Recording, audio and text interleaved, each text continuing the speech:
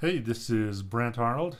You may remember me from other tutorials such as creating ad hoc distribution profiles for creating all sorts of cool mobile applications. Today I want to talk about installing your iOS app over Wi-Fi, specifically the idea of deploying it for someone to download from your website uh, for testing or for your own testing. For example, if you are running on a Windows machine, you're using software to build apps and you want to install them easily without having to go through iTunes. So the the point that I'm showing you is how to install an app over Wi-Fi without iTunes. All right, I'm looking at this website and here it's just the developer library. This is you know you can get to this uh, without logging in. You, it's just the distributing enterprise apps for iOS 4 devices. So what that means is uh, there's since iOS 4 came out, there's been the ability to install an app over the air. And all you need to do, you can read through this. This has a lot of good information, but it's fairly straightforward and fairly simple. So uh, if you're installing apps wirelessly, then it talks about okay, you got to do the app, uh, manifest file, and then uh, make sure you're connected to a network. And you can do this over your own uh, web server.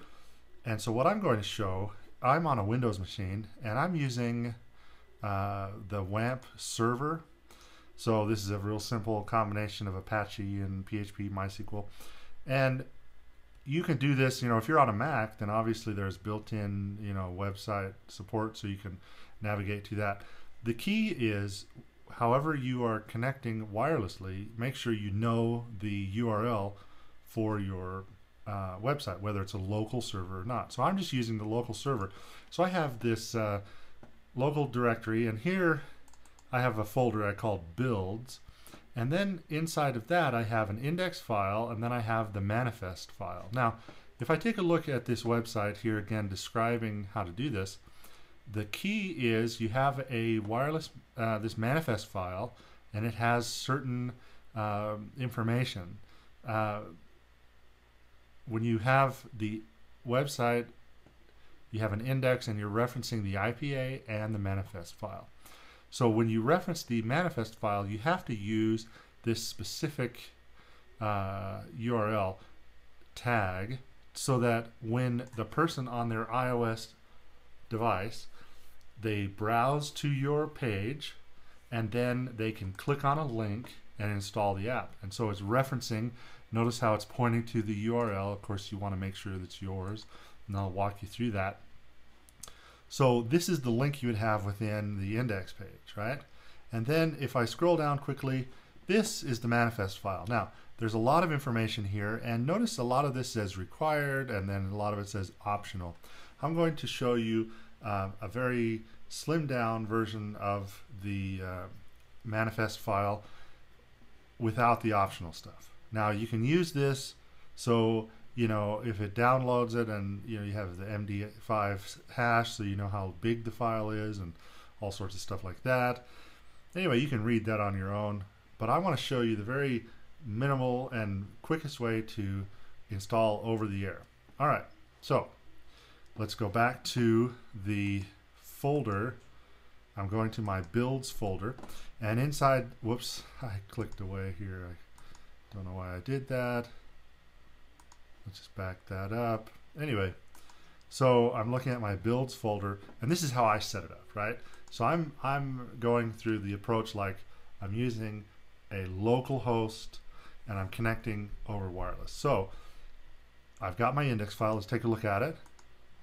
And here it's just a simple HTML file and then I have the reference, right? Here is the URL so that when you browse to this on your iOS device, it knows how to load this. Now, check this out. Right here, I'm referencing a local, my local host installation. So I'm using this uh, 192.168. You know, it's a very simple, uh, you know, local host web server.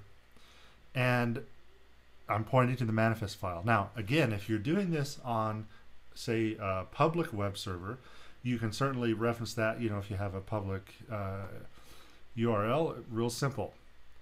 The key is this has to point to the right place. So just keep that in mind. You have to understand however you're deploying it, make sure it's pointing to the right place. All right, so that's fairly simple. And here's my IPA file. Now, the key to making this work is it, your file must be signed with an ad hoc provisioning profile and your distribution certificate. Check out my other tutorials that show how to create the distribution certificate, how to create the ad hoc provisioning profile. But the key is if you don't sign it with the ad hoc provisioning profile and distribution key, then it will fail. So keep that in mind. What does this mean? If you're signing it that way for ad hoc distribution, then you're specifically targeting the devices that are in your device list in your uh, provisioning portal in your iOS developer account. So what I'm showing you is how to post an app online that a person who has their device on that list can then download the app and test it and all that good stuff. All right, let's take a look at the manifest file. Go ahead and edit. We're going to look at this.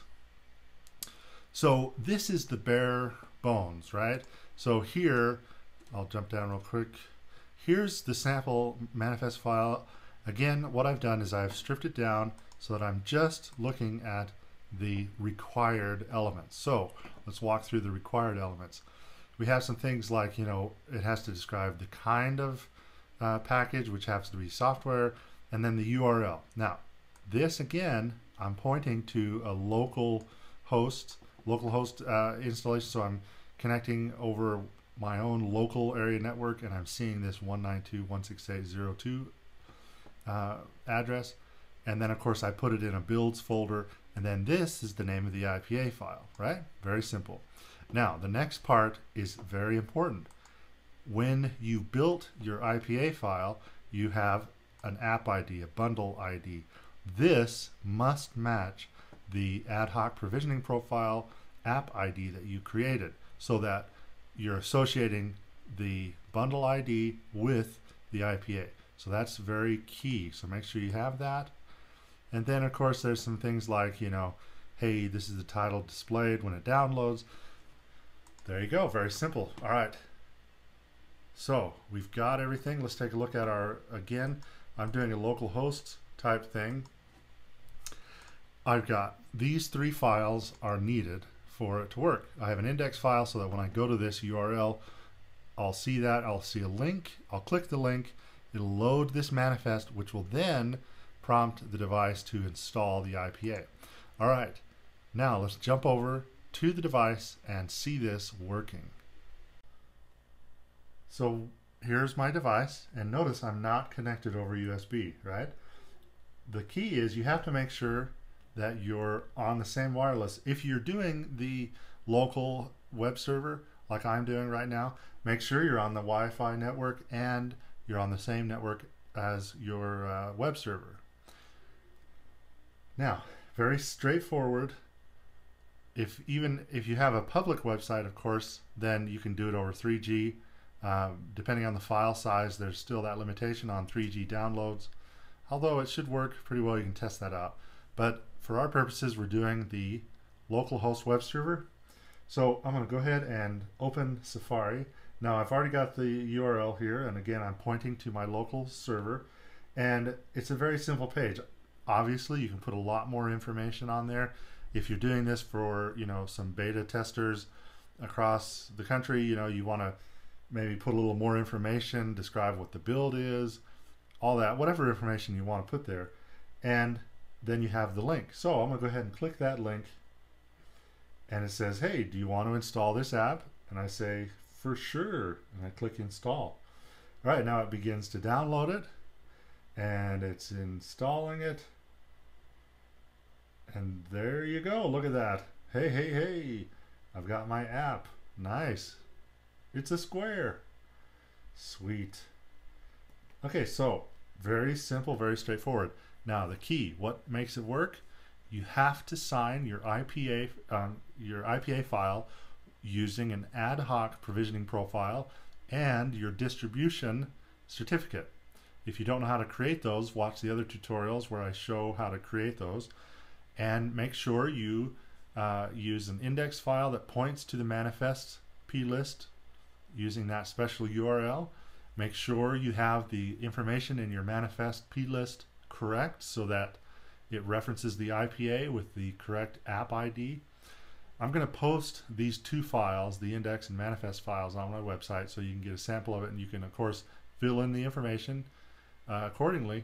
So, again, very straightforward and it's something that you can use to quickly install an app for testing without using iTunes. All right, thanks for watching.